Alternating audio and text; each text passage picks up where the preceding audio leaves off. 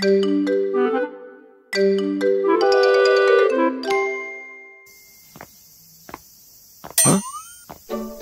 れ？あそこにいるのって瀬尾先輩とこの前の？温泉もついてて結構いいんだよ。でも部屋数はそんなにないからさ。同じ部屋になるけど一泊旅行しない？へえ同じ部屋か。そんな先輩いつの間に大人に？じゃあ枕投げしようぜかよ！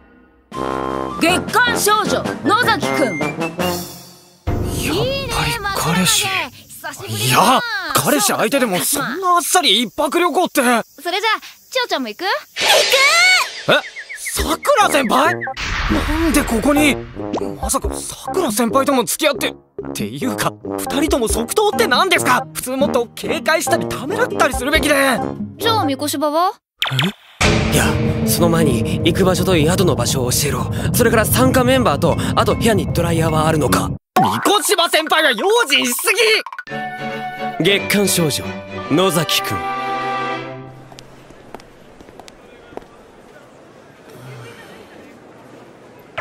じゃあ次の休みにでも水着買いに行くか。いいね。とか言ってたからなんとなく気になってきちゃったけど。おわ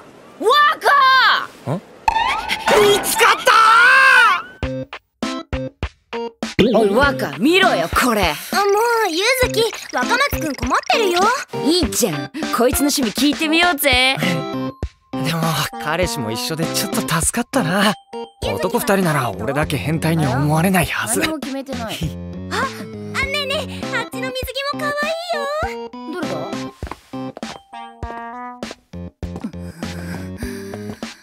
なんでずっとくっついてくるんだこの男。